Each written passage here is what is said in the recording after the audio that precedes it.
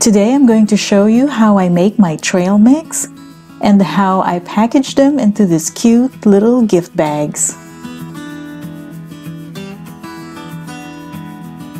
Hello everyone! Today I'm so excited because this weekend I am going to have a small get-together with my high school friends. We haven't seen each other in a few months and I would like to surprise them with a little giveaway treat. And I want to share that recipe with you. So let's make some trail mix. For today's ingredients, we're going to be using one pound of roasted and unsalted peanuts. I get this from Trader Joe's and this one package is a one pound bag of roasted and unsalted peanuts. We're also going to be using about one fourth cup of raisins. I also get this from Trader Joe's. This is organic Thompson seedless raisins. One fourth cup of dried cranberries. I also get this from Trader Joe's. And one fourth cup of semi-sweet chocolate chips. We're also going to be using about a teaspoon of butter. If you don't have butter, then um, any vegetable oil will do. And for seasoning, we're going to be using a little bit of salt and cayenne pepper. We're going to set our flame on low. That way the raisins and the cranberries will not burn. And I'm using a small wok here, but any other pan uh, will do. I'm actually going to be using um, Challenge butter, spreadable butter, and just very little. I'm just using the back of the spoon right here, very little. This is just to coat our raisins. That way the seasoning will, will adhere to the raisins and the cranberries. So it's melting slightly because our flame, our heat is very low. So I'm just going to add the raisins there.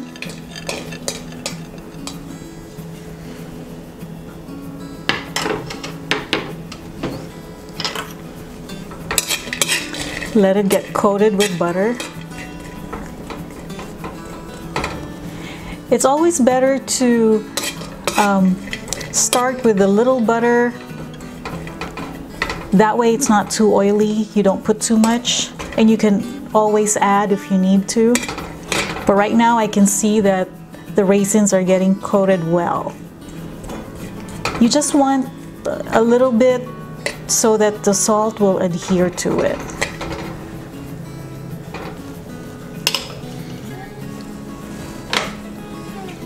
Gonna add a little bit of salt.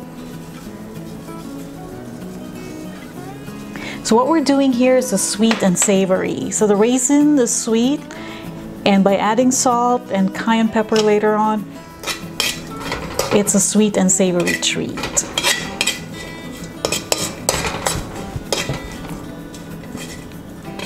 Now I'm just going to taste one of the raisins to see if it needs a little bit more salt. Maybe just a tad bit more.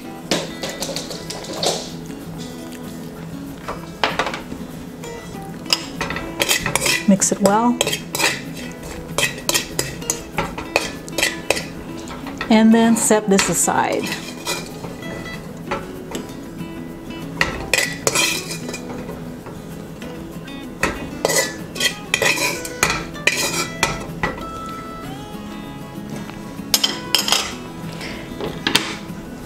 Cranberries are next.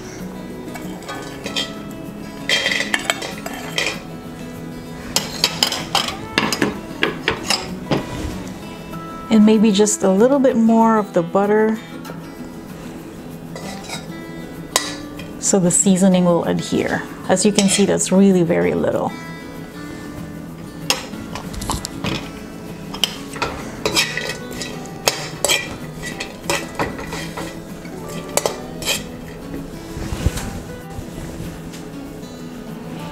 Now I'm going to add um, the cayenne pepper. And just tap this a little at a time because you don't want it to be too spicy. You just want a hint. It depends on your tolerance for spice. I can actually tolerate a little bit of it. So, but just go easy, go a little at a time, and then try it later on. Okay. And there's a little bit of the cayenne pepper that's going to be smeared in the pan. That's okay. Because you want all those flavors to absorb later on, to blend all together later on. Okay. Now I'm using only one fourth cup of the raisins and one fourth cup of the cranberries, but you know, that's more or less. You can always add a little or take out a little of any of your favorite uh, dried fruits.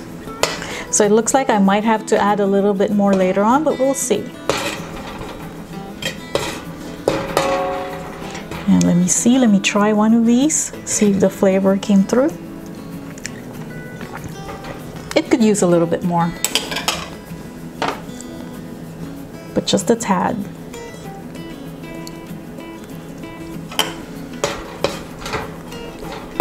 Mix it well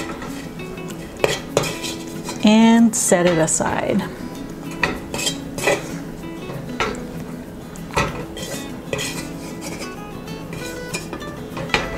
I'm going to add a little bit more um, butter to our wok here so the seasonings will adhere to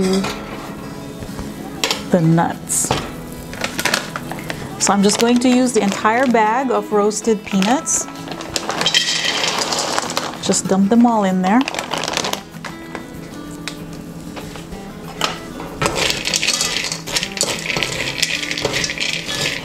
And mix it so that the butter will get spread evenly onto the peanuts.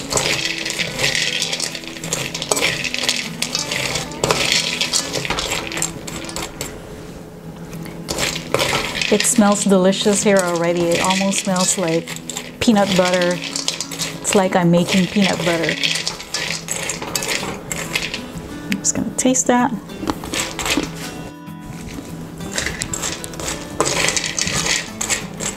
So my flame is really, really low. It's just my, the nuts are not even um, warm. It's just enough so that the butter uh, will melt so that it can adhere, so that the seasonings can adhere to the nuts and the raisins and the cranberries.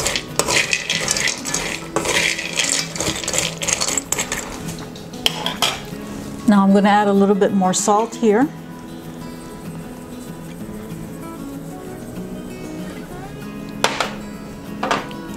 And just a tad bit more of cayenne.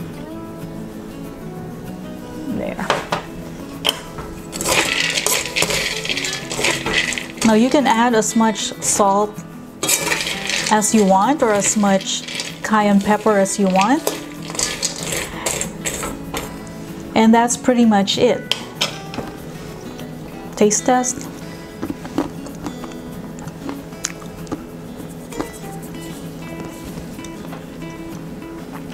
A little bit more salt.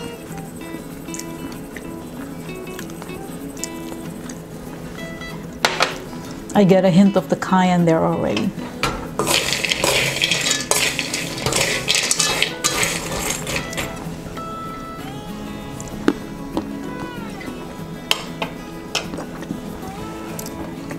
At this point, I'm going to turn off our heat before the peanuts get completely warm.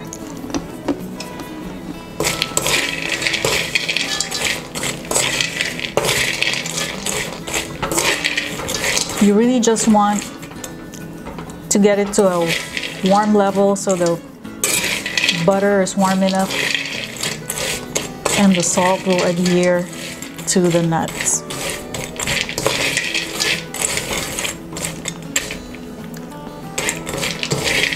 I'm going to let this cool a little bit.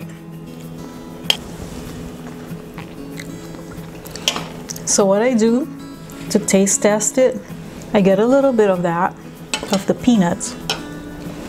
I get a raisin and I get a cranberry and I get a chocolate chip and put it all together, see how it blends in my mouth. That's actually pretty good. Maybe it could use just a little bit more salt, but the amount of cayenne pepper in there is really, really good. Okay, at this point, I'm happy with how salty the nuts are. You don't want it too salty because remember, the raisins already have salt in them. We added salt to the raisins. So I'm happy with that. So now we can add them all together. So slide in the cranberries and slide in the raisins. Mix it well together. And let it cool completely before you add the chocolate chips. That way they don't melt into the peanuts. It's warm, it's not hot, it's just a little bit warm, but let it completely cool before you add the chocolate chips. And that is our quick trail mix. Okay, so I've divided the trail mix into three equal batches because I'm going to give it to three of my high school friends. And then you can just put them in a Ziploc. Or what I did here is I put them in a vacuum pack using Food Saver. And then I'm putting them into this nice uh, paper bag, brown bags, which I got from Daiso. They're little cute bags from Daiso. And just add white tissue to it or any of your favorite colored tissue.